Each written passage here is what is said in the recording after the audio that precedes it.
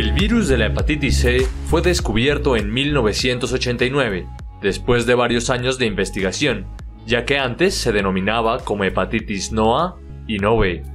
En el año 1991, la FDA aprueba el primer tratamiento contra el virus y para el año 1992 se ordena el tamizaje en los bancos de sangre de Estados Unidos, logrando así descartarlos virtualmente como fuentes de infección. En Colombia, esta meta solo fue posible hasta el año 1996. En 2007, en Estados Unidos, la cifra de muerte por hepatitis C sobrepasan las cifras de muerte por VIH y en el año 2012 el CDC recomienda realizar tamizaje a las personas nacidas entre el año 1945 y 1965. Es solo hasta el 2014 que se inició el lanzamiento oficial de los antivirales de acción directa con potencial de cura.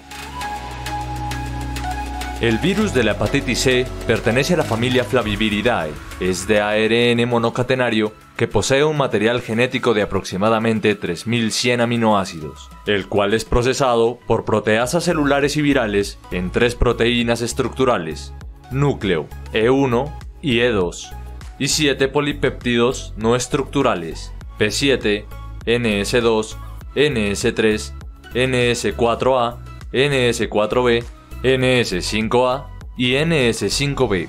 Dado sus características, tiene la capacidad de adaptarse y escapar continuamente a la respuesta inmune del huésped. Por ello, el virus de la hepatitis C se clasifica en 7 genotipos y más de 67 subtipos. En el siguiente mapa se muestra la prevalencia a nivel mundial de la hepatitis C al 2017. En países como Rusia, Egipto, Pakistán, el índice de la infección llega al 2.9%. En nuestro continente, Estados Unidos y Brasil son los países con mayor porcentaje. En Colombia se estima una prevalencia entre el 0.7 y el 1.29% de la población. La mayoría de las infecciones por hepatitis C se producen por exposición a pequeñas cantidades de sangre en prácticas poco seguras, como el consumo de drogas inyectables, transfusiones de sangre previas al año 1994, productos sanguíneos sin analizar, realización de tatuajes y en bajo porcentaje el alto número de parejas sexuales. Según el CDC, las personas nacidas entre 1945 y 1965 tienen 5 veces más probabilidades de tener infección por hepatitis C. Esto debido a que en las décadas comprendidas entre 1960 y 1980 se presentó el nivel más alto de transmisión. Dentro de las vías asociadas se encuentra el uso de equipos y procedimientos médicos antes de que se adoptaran las precauciones universales para el control de la infección. Existen dos presentaciones clínicas del VHC, la aguda y la crónica.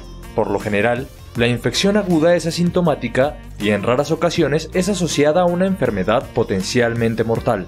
Aproximadamente del 15 al 45% de las personas elimina el virus de manera espontánea en un plazo de 6 meses.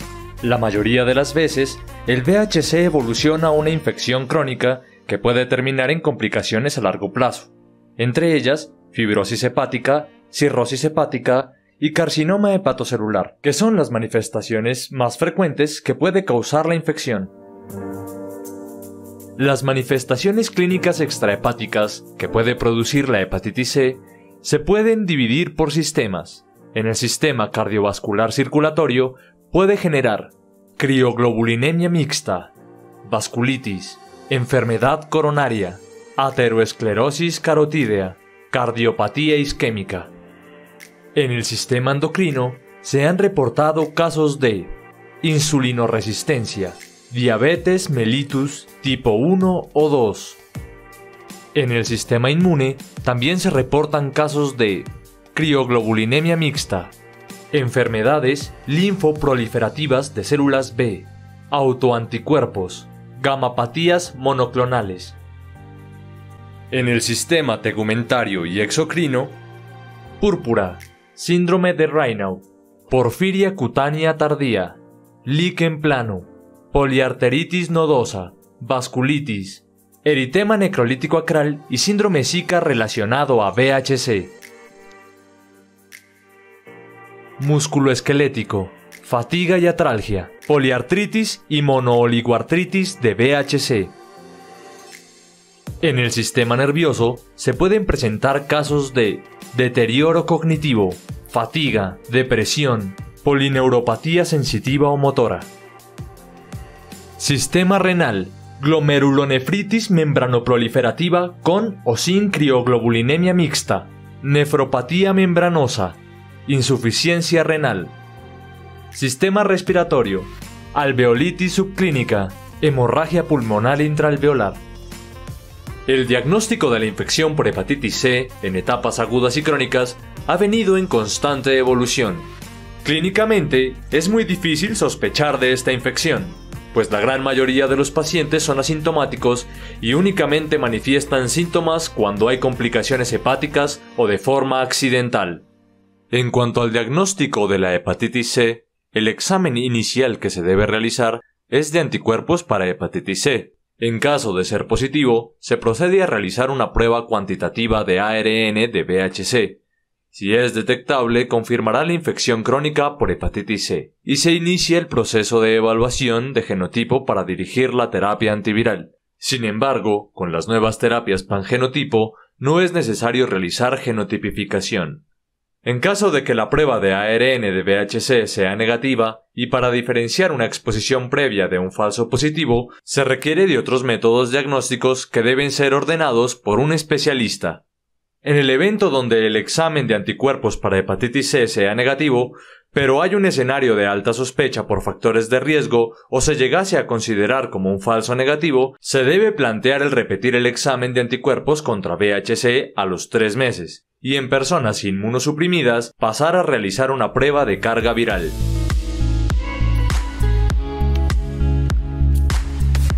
El tratamiento para la infección por hepatitis C ha sido un reto desde sus inicios hasta la actualidad, dado que ha mostrado una gran evolución, llegando a alcanzar una eficacia de más del 90% con los antivirales de acción directa, disminuyendo la aparición de complicaciones hepáticas y extrahepáticas. De acuerdo con la Guía Colombiana para el Manejo de la Hepatitis C, se recomienda que el inicio del tratamiento esté a cargo de un especialista, medicina interna, infectología o gastroenterología, y está indicado para todos los pacientes que presenten la infección crónica.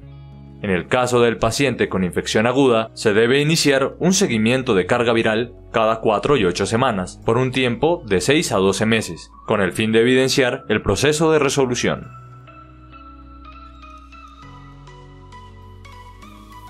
Con los antivirales de acción directa pangenotipo, Actualmente no es necesario realizar genotipo en los lugares donde se tenga disponibilidad de estos. Los objetivos del tratamiento incluyen alcanzar una respuesta virológica sostenida que se define como la ausencia de ARN de hepatitis C al final del tratamiento y a las 12 semanas después. En la actualidad, el tratamiento está basado en antivirales de acción directa que han mostrado una respuesta viral sostenida de más del 90%. Con la innovación de los inhibidores pangenotípicos se ha llegado a alcanzar una respuesta viral sostenida del 99%. Entre los tratamientos se encuentra el Belpatasvir, que en combinación con Sofosbuvir actúa contra todos los genotipos del 1 al 6, y por lo tanto ofrece considerables ventajas para el manejo del paciente con infección por hepatitis, ya que al no requerir genotipificación, disminuye el tiempo entre el diagnóstico y el inicio del tratamiento. Los otros antivirales se pueden clasificar de acuerdo con su mecanismo de acción en tres grupos. El primero son los inhibidores de la polimerasa NS5B que incluyen el sofosbuvir, activo para los genotipos 1 a 4 y cuando se combina con el ledipasvir es activo para genotipo 5 o 6.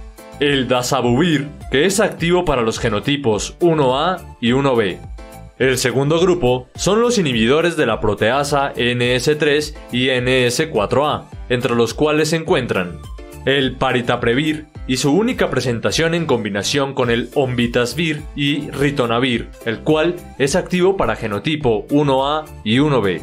El asunaprevir en combinación con el daclatasvir que actúa contra el genotipo 1B. El grasoprevir Su única presentación en combinación con el Basvir es activo contra genotipo 1A y 1B.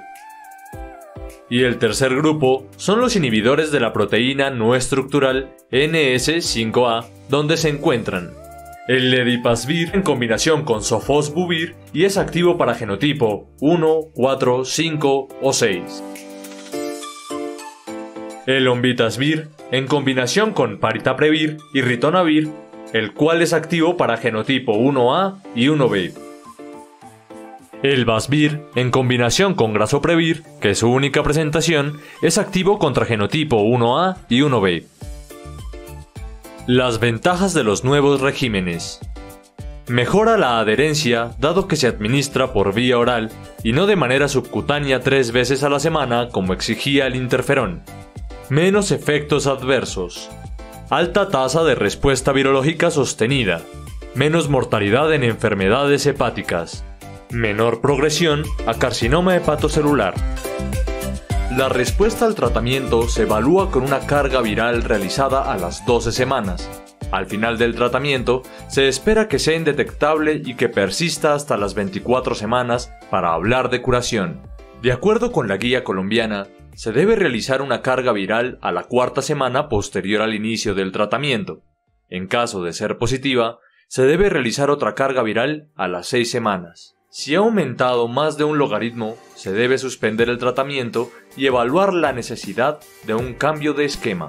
Una vez elegido el tratamiento, se debe realizar de manera inicial hemograma completo, función renal, función hepática, función tiroidea y otras pruebas para ITS como hepatitis B y VIH. Y estos paraclínicos se deben repetir a las 12 semanas cuando termina el tratamiento.